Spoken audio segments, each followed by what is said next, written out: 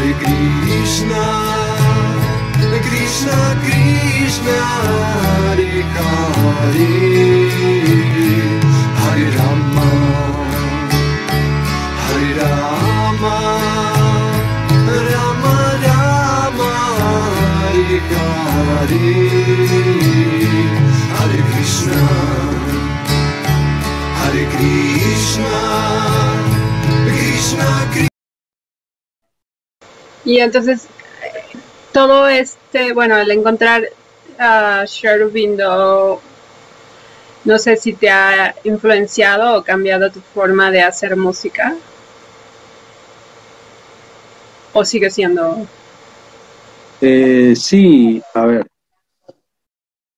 Por un lado, creo que, que cuando me empecé a volcar a la música de la India fue yo, era músico desde hace mucho tiempo y tocaba, incluso en ese momento estaba tocando una banda de rock, hacía otras cosas. Eh, y para mí encontrar esta música y volcarme a ella, como que respondía a una necesidad de decir, a ver, ¿cómo, cómo integro esto de ser un músico y el camino espiritual? ¿Y cómo, cómo podemos hacer que estas dos cosas vayan juntas, ¿no? Y en mi caso, con esta música sentí que, podía formar parte de lo mismo. Eh, y, este yoga en particular, de Seria Aurobindo, eh, sí, yo creo que, mira, hace, hace un tiempo leía una, una, nota a un guitarrista muy conocido de, de acá de Argentina, que se llama Luis Salinas, guitarrista muy virtuoso, y decía que él una vez, un, músico le dijo, eh,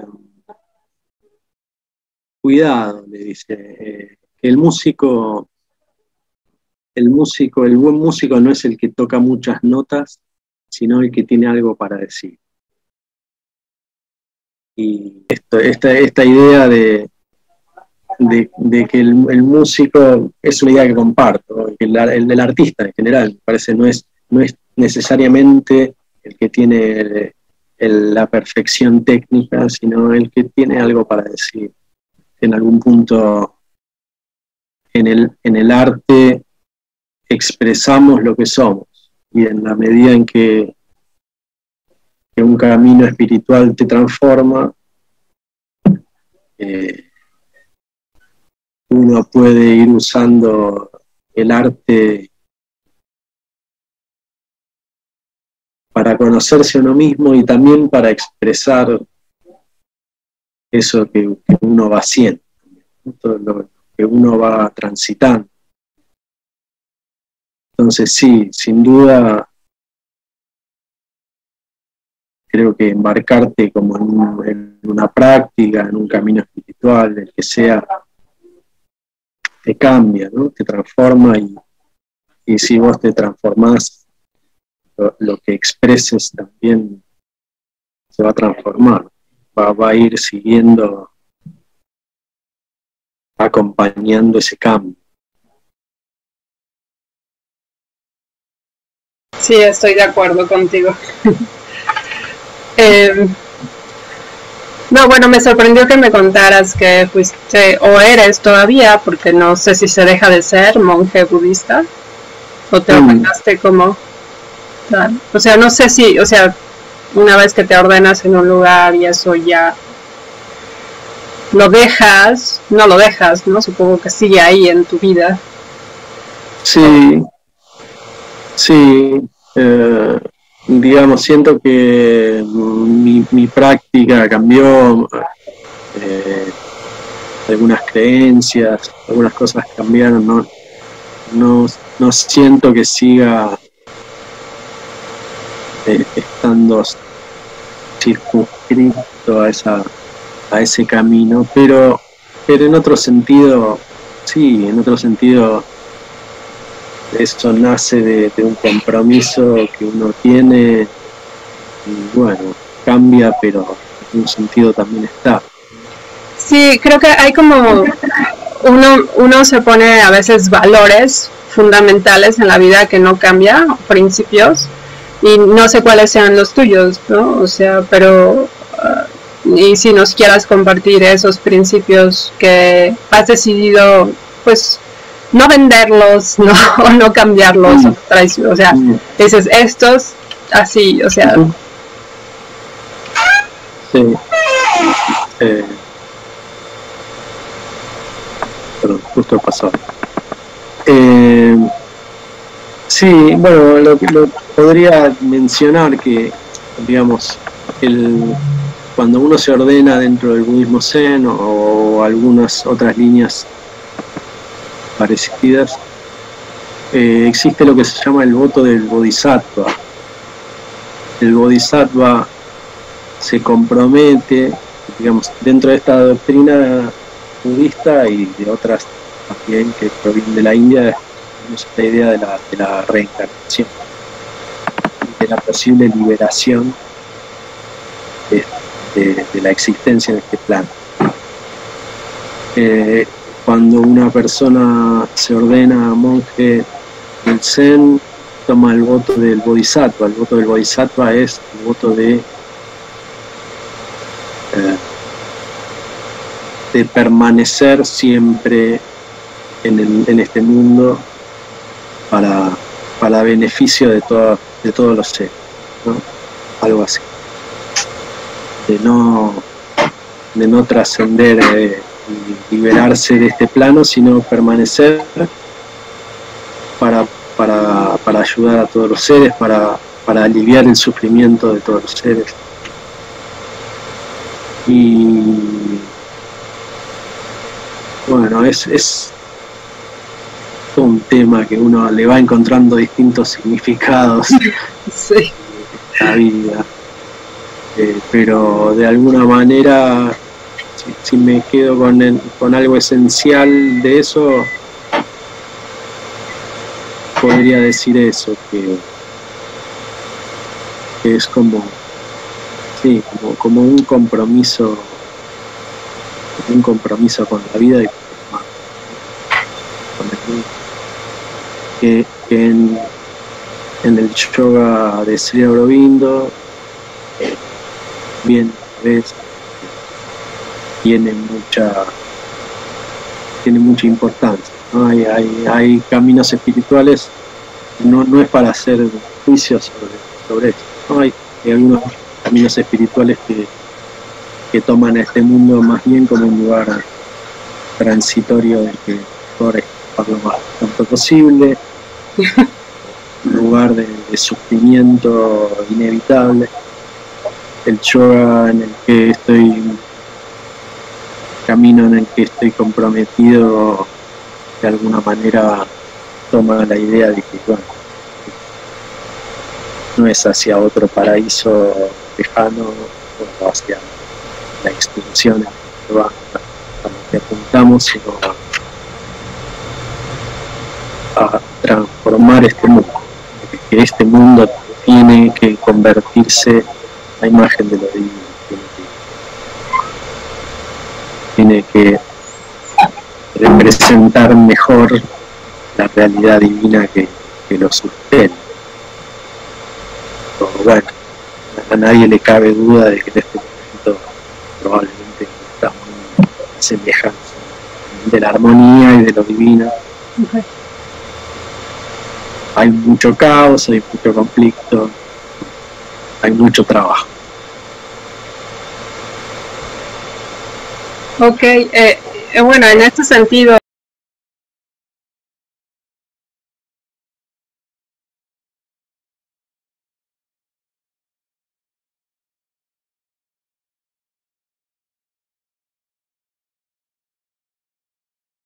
un fiel creyente de que existe un poder, una fuerza o algo más que nos ayuda todo el tiempo, que no sé cómo le llamas.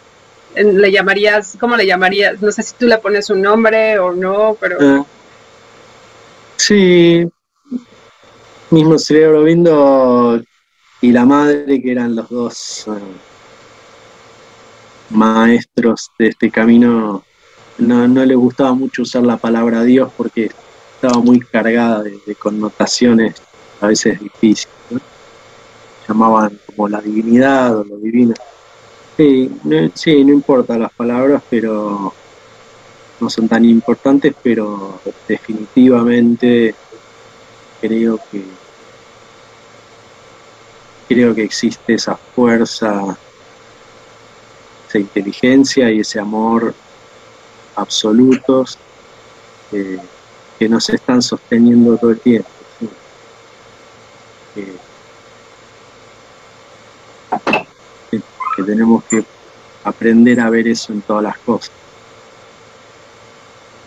Siempre pasa.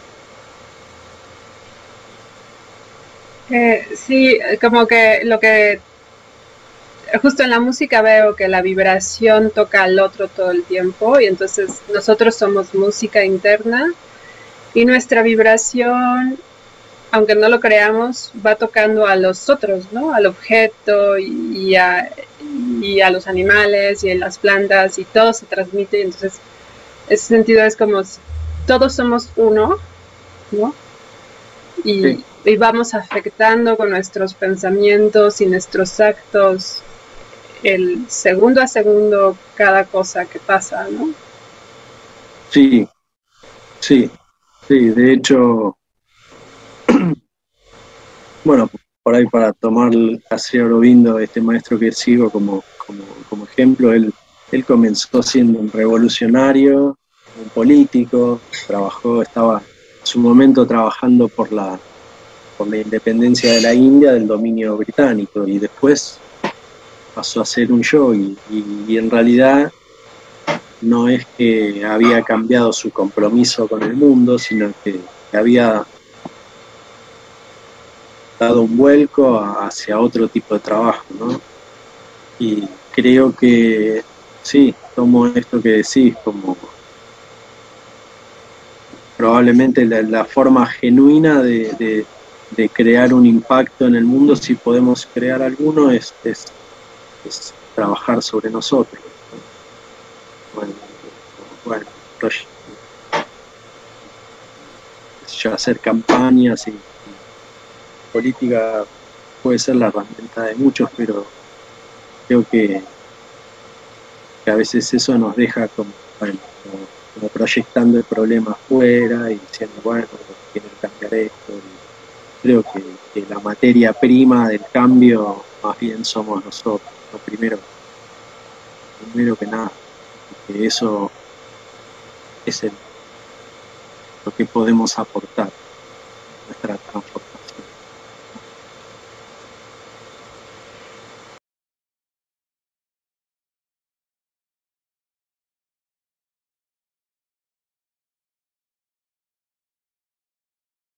Eh,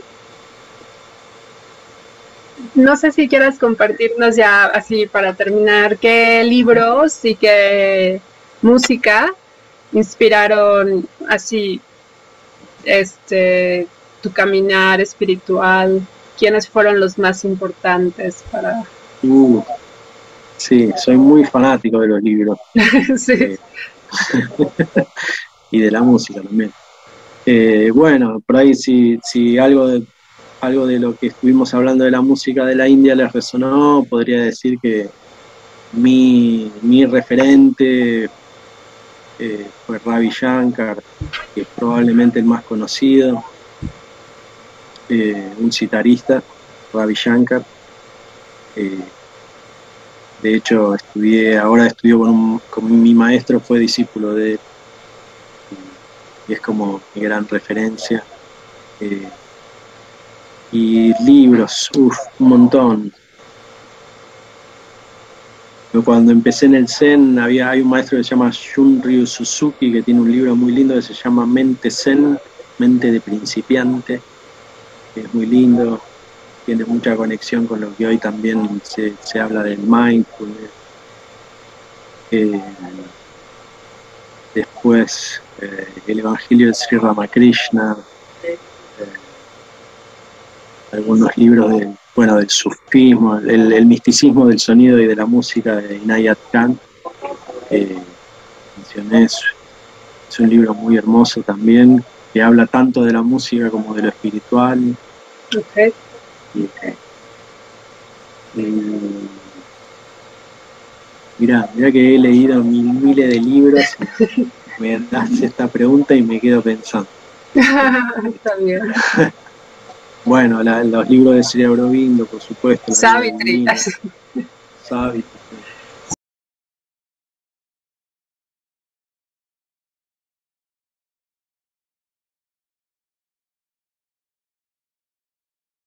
Sí, eh, eh, bueno, a mi mail, eh, que es condex.gmail.com, ahí estoy abierto para todas las consultas. No, después tengo un, un Instagram que es eh, Escucha Integral, se llama, y es está volcado más a otras cosas que hago, que es la consultoría psicológica, pero bueno, también ahí vuelco un poco de, de- de mi vida cotidiana y es una fuente de contacto también. Consultoría psicológica. Consultoría psicológica es un... sí, es, es- como una profesión de ayuda que tiene que ver con la psicología, eh, más bien con el acompañamiento, con la escucha. Está basada en un modelo de un psicólogo norteamericano que se llama Carl Rogers. Lo que hago es brindar un, un espacio de escucha personal terapéutico. Podríamos mi Instagram tiene un poco que ver con eso. Pero es, también me pueden encontrar.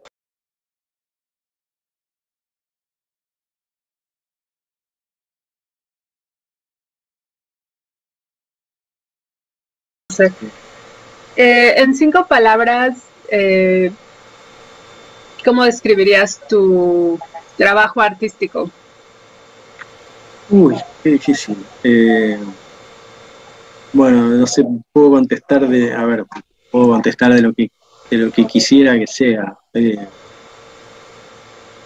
cinco palabras. Eh, armonía, eh, sinceridad, eh, espíritu, corazón.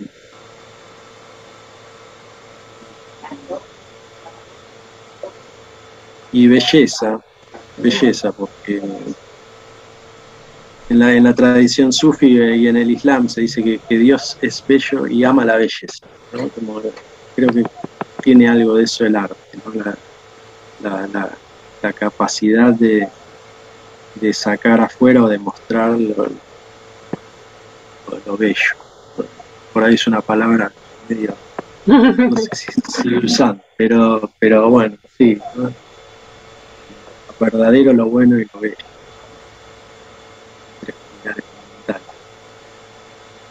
Ok. Pues sí, muchas gracias, eh, Juan. No. Eh, digo, ya no hablamos de la pandemia, ni de las afectaciones, ni de todas esas cosas que te preguntaba, pero eh, de las cosas más cotidianas. Eh, mm, pero me encantó lo que nos has platicado hasta ahorita. Muchísimas gracias a vos Gracias. por, la- por este espacio. Me encantó hablar. Bueno, entonces va a quedar editado tal vez en cuatro partes, depende, ¿no? Y ya lo estaré subiendo a YouTube. Poquito a poco, Buenísimo. ¿ok? Buenísimo. Gracias. Muchas gracias. A vos. Un abrazo grande. Bye.